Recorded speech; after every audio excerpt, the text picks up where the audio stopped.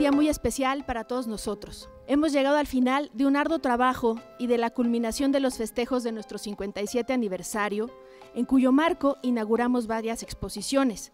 Nacimiento, Do, Miradas Originarias, Un Mundo con Equidad de Género y finalmente hoy, la exposición más grande y compleja de todas, No Complaciente Boris Luri en México.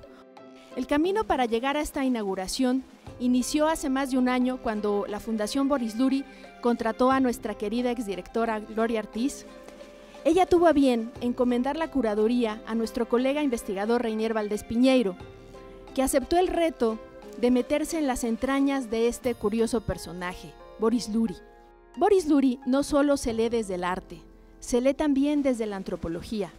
Su rebeldía, su denuncia de la cultura elitista, y de la sociedad de consumo son temas que se trabajan aquí todos los días.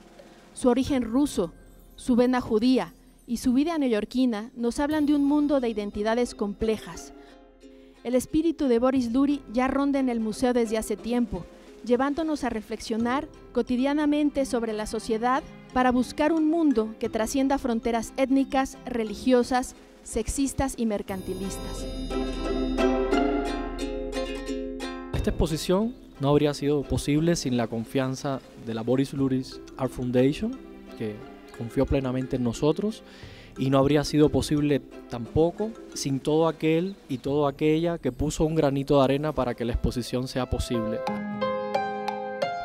Boris Luris fue un hombre que sobrevivió al holocausto. Esa es como algo que se sabe, ¿verdad? Se dice así simple, pero imaginemos lo que significa sobrevivir al holocausto. No solo es sobrevivir, es también el peso de la culpa, que es algo que persigue a los sobrevivientes del fascismo. Es decir, ¿por qué sobreviví yo? ¿Por qué no mi madre? ¿Por qué no mi padre? ¿Por qué no mi hermana? Etcétera. Eso está en esta obra, La herida perpetua.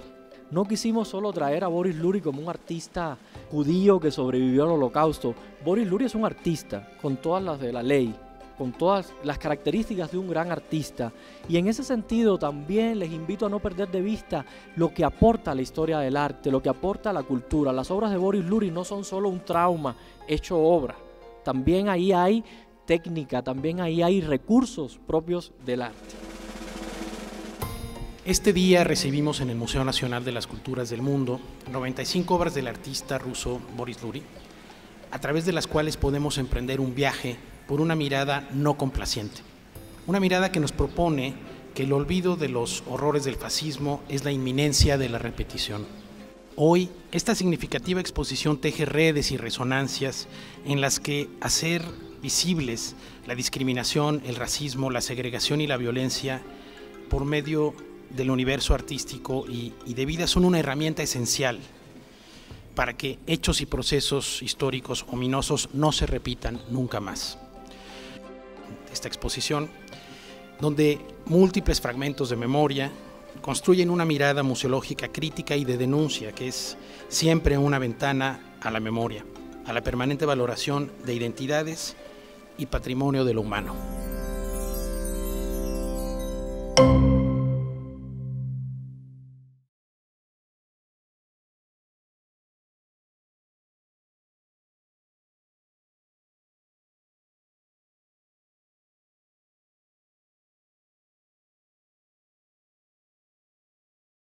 Gobierno de México.